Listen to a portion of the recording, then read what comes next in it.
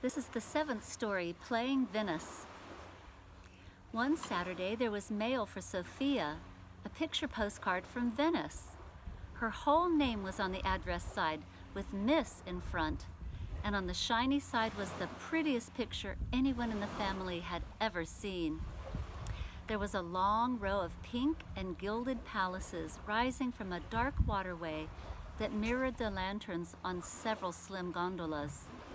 The full moon was shining in a dark blue sky, and a beautiful, lonely woman stood on a little bridge with one hand covering her eyes. The picture was tinged with real gold here and there in appropriate places. They put the postcard up on the wall under the barometer. Sophia wanted to know why all the buildings were standing in the water, and her grandmother told her all about Venice and how it is sinking into the sea. She had been there herself once, the memory of her trip to Italy exhilarated her and she talked on and on.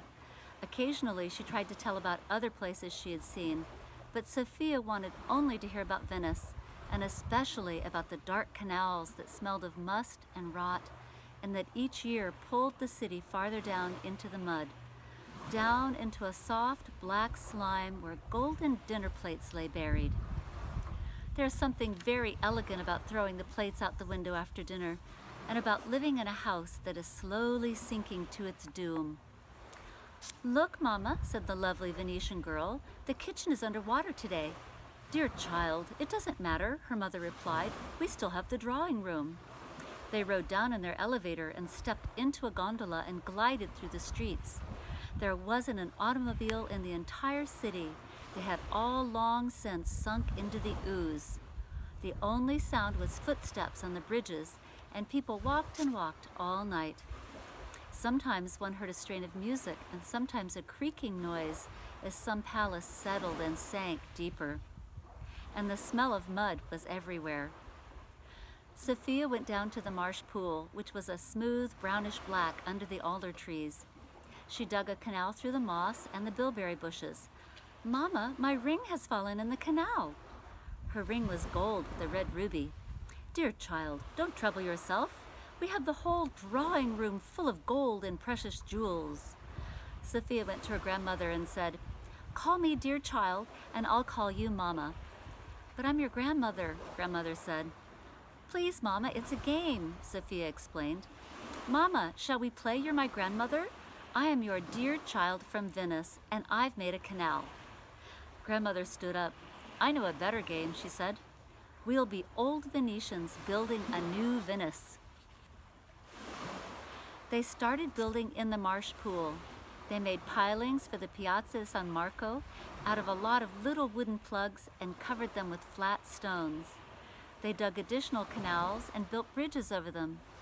Black ants scurried back and forth across the bridges, while down below there were gondolas gliding along in the moonlight. Sophia collected pieces of white marble along the shore. Look, Mama, she called, I found a new palace. But, my dear child, I'm only Mama to your father, grandmother said. She was concerned. Is that so? Sophia shouted. Why is he the only one who gets to say Mama? She threw the palace in the water and stalked away. Grandmother sat down on the veranda to make a Doge's palace out of balsa wood. When the palace was done, she painted it with watercolors and gold. Sophia came to look at it. In this palace, grandmother said, there lives a mother and a father and their daughter. Right through that window. The daughter has just thrown the dinner plates out the window and they broke on the piazza because they were only china. I wonder what the mother said. I know what the mother said, Sophia declared. She said, My dear child, do you think there's no end to your mother's china? And what did the daughter say? She said, Forgive me, Mama. I promise to throw only the golden dinner plates in the future. They set the palace by the piazza, and the father, mother, and daughter continued to live there. Grandmother made more palaces. A great many families moved into Venice and called to one another across the canals. How far did your palace sink today? Oh, it's not so bad. Mother says it's only a foot or so. What's your mother making for dinner? My mother's boiling some, boiling some perch. At night, they all slept soundly, and the only noise was the footsteps of the ants across the bridges. And here's a drawing that Tove Jansson made. Sophia in the marsh. Grandmother became more and more involved. She made a hotel and a trattoria and a campanile with a little lion on top. It was a very long time since she'd been in Venice, and she could remember the names of all the streets because her memory was best for things that had happened long ago. One day there was a green salamander in the Grand Canal, and traffic had to make a long detour. That same evening it started to rain, and the wind went over to the southeast. The radio said low pressure system and winds to 30 miles an hour, but no one gave it a second thought. But when grandmother woke up in the middle of the night, as usual, and heard rain pelting on the roof, she remembered the sinking city, and it worried her.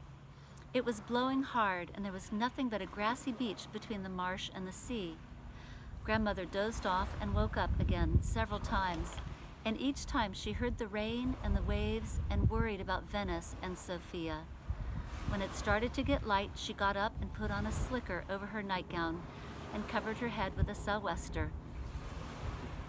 The rain had let up, but the ground was drenched and dark. It will make everything grow, she thought absent-mindedly. She took a firm grip on her walking stick and stumbled on against the wind. There she is.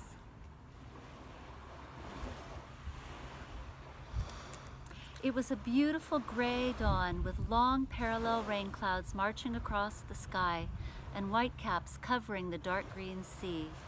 She could see right away that the whole shoreline was flooded, and then she saw Sophia running toward her across the rock. It's sunk, Sophia screamed. She's gone.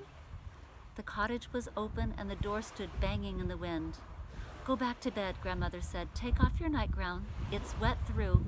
And close the door and go to bed. I'll find the palace. I promise I'll find it. Sophia was crying with her mouth wide open. She wasn't listening. Finally, grandmother had to go with her to the cottage to be sure she went back to bed. I'll find the palace, she told her again. Now stop howling. Go to sleep.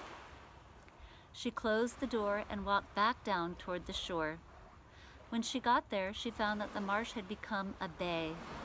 The waves washed up into the heather and swept back into the sea again, and the alders stood well out in the water. Venice had disappeared beneath the sea. Grandmother stood gazing at the scene for quite a while. Then she turned and went home. She lit the lamp and got out her tools and a suitable piece of balsa wood and put on her glasses. The Doge's palace was ready at seven o'clock, just as Sophia banged on the door. Wait a minute, grandmother said, it's latched. Did you find her?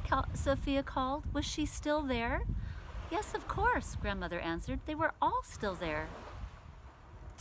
The palace looked much too new, not as if it had been through a flood. Quickly, grandmother took her water glass and poured it over the Doge's palace, then emptied the ashtray into her hand and rubbed the cupolas and walls with ashes. And all the time, Sophia kept pulling at the handle and yelling that she wanted in. Grandmother opened the door. We were lucky, she said. Sophia examined the palace very carefully. She put it down on the nightstand and didn't say a word. It's all right, isn't it? said Grandmother anxiously. Quiet, Sophia whispered. I want to hear if she's still there.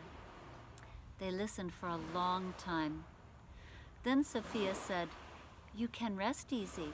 Her mother says it was a perfectly dreadful storm. Now she's cleaning up the mess and she's pretty worn out. Yes, I'll bet she is, Grandmother said.